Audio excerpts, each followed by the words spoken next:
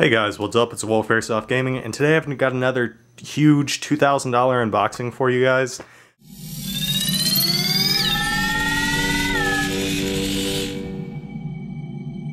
Now this goes along with my other $3,000 unboxing video.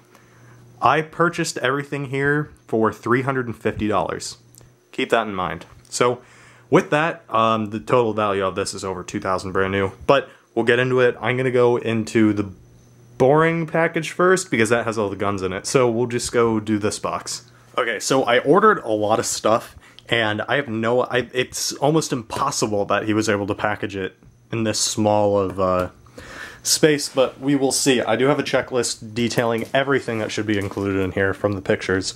But it's kind of hard to when you're buying so much of it. So we've got some great quality tape. Jesus Christ, it's like Velcro almost.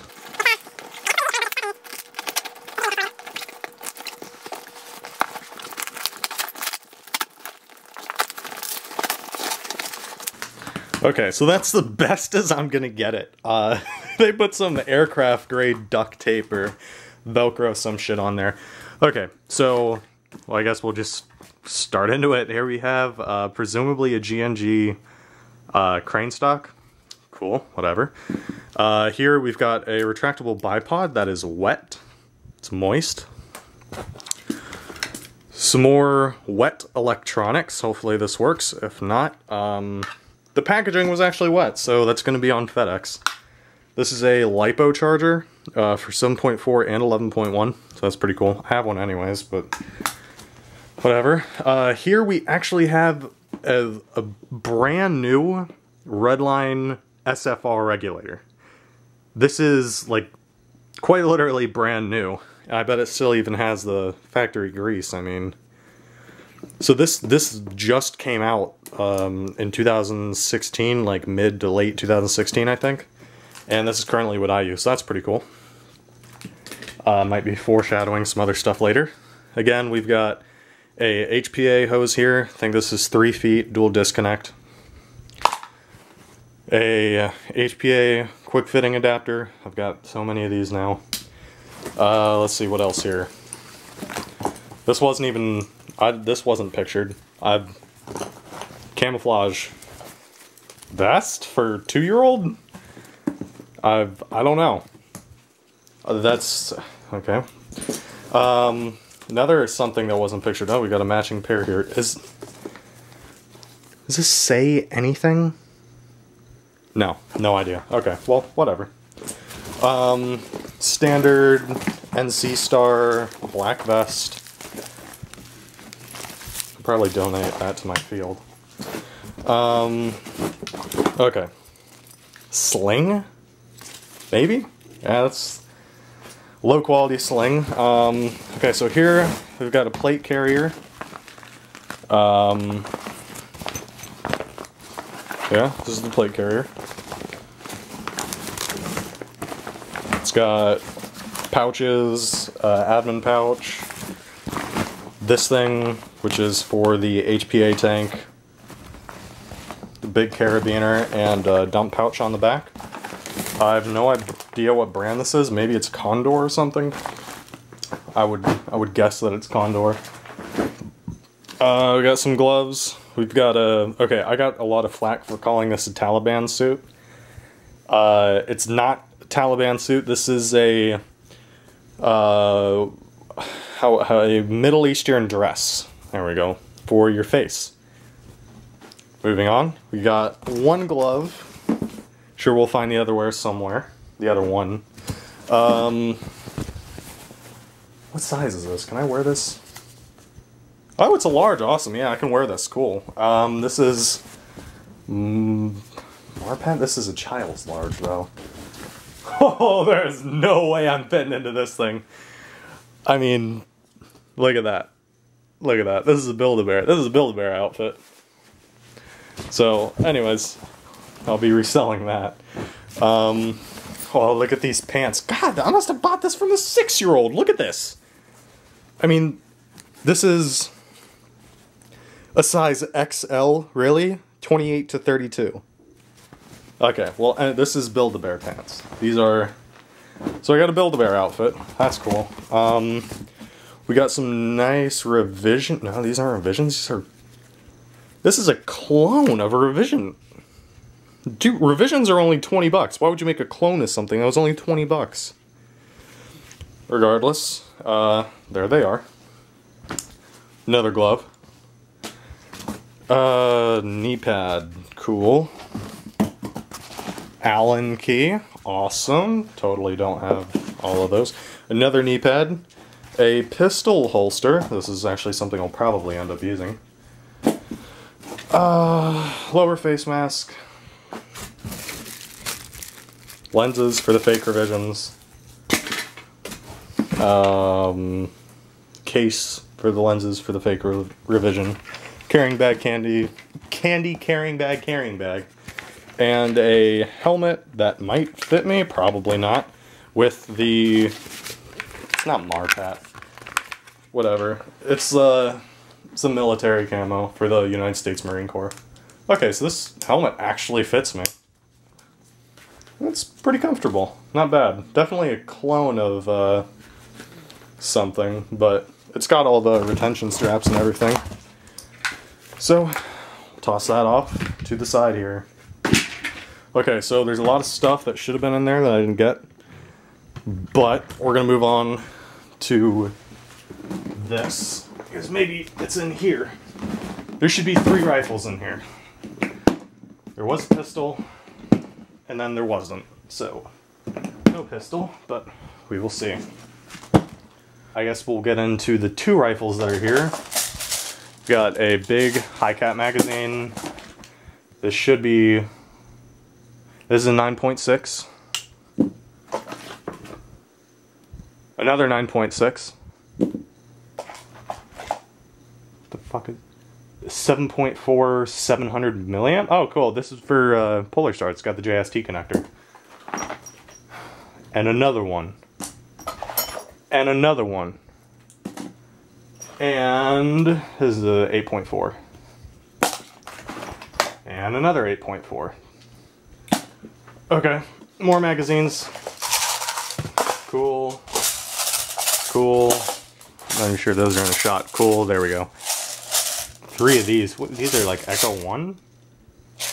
I don't know, but they're the 500 round rounders. Uh, here's the butt plate for the stock that was uh, supposed to go in here. Um, let's just go through the accessories. Scope. It's a really bad quality scope. Uh, I wouldn't even call it a scope. It's, it's only got two hairs. Try to put that through the camera. Nope. It's only got it's only got two hairs. Oh well. I mean that's that's a joke of a joke of a scope. This is for HPA tanks. If you have a air tank, you can put that on it and take air from that. For a scuba tank, sorry. So that's pretty cool. Never, I've never had one. I guess I do now. no idea what they're worth. Probably like not much. Hop-up chamber seems pretty complete. Uh, inner barrel. I'm not even gonna bother to move this stuff out of the way. A laser that probably doesn't work.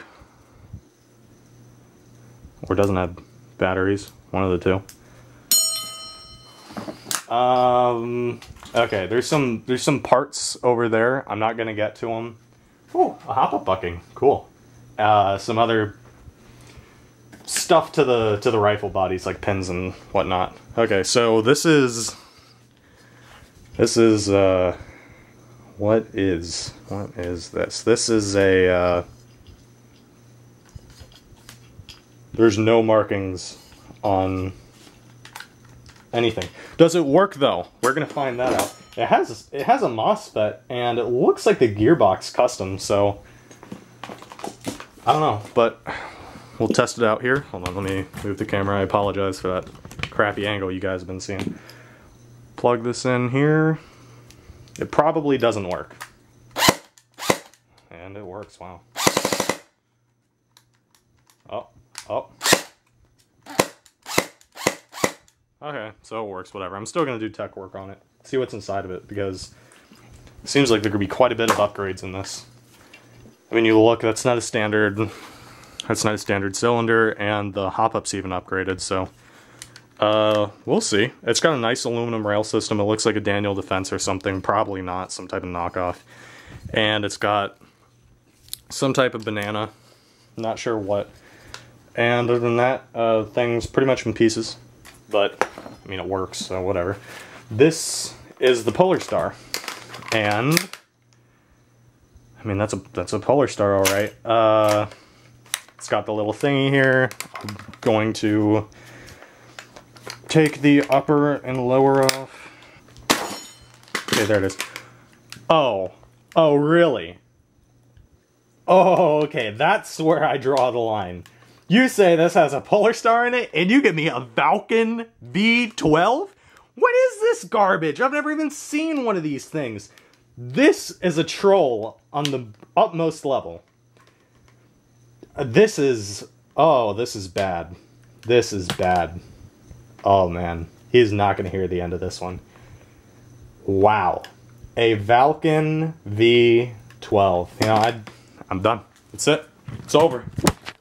Okay, so aside from that, uh, oh, whatever. I mean, I paid 350 bucks for all the stuff I got, so even if I don't get the rest of it, I don't give a shit because this is still quite a bit of uh, money. I mean, I got a full HPA system, uh, some type of custom AEG, Valken V12 and HPA gun. It's not a fucking Polar Star, but you know, whatever. This is, I swear to God, this has got to be a, a G&G or something. This is actually a plastic key mod. I've never seen a plastic key mod rail. I do like the looks of it though, I gotta say. I am, I am digging it. So, oh, this classic army? Okay, never mind, it's a classic army. Interesting. Uh, I wonder what the FCU looks like. Tis a shame. Okay, well, uh, anyways, should have gotten an AK with this. He told me the pistol wasn't going to be here. And I'm going to go through the rest of my checklist. But, uh, anyways, so for review, we've got a Polar, Polar Star, a um, Valken V12 engine with a classic Army body and some type of custom monstrosity with upgraded internals and a MOSFET and a bunch of other stuff. Magazines, batteries, Ninja Air thing, uh, bipod accessories, regulator, uh, uniform, helmet, goggles, bunch of other gear. So uh, overall, this was not bad at all for 350 bucks. Uh, I thought my return was going to be a lot more with us. definitely going to contact him. I, I knew it was literally impossible for him to fit all of that shit into a crappy box and a rifle case. I'm very surprised nothing broke in the rifle case, though. I'm, I'm astonished that nothing broke uh, in the rifle case. But beyond that, I think that's going to do it for this episode of Wolf Airsoft Gaming. Thank you guys for joining me on this adventure and hope you guys liked the video. Uh, if you want to see another huge unboxing, check out my $3,000 unboxing video. Uh, there's probably at least twice as much stuff that it was in this one. And uh, yeah, thank you guys so much for watching, and I'll see you in the next video.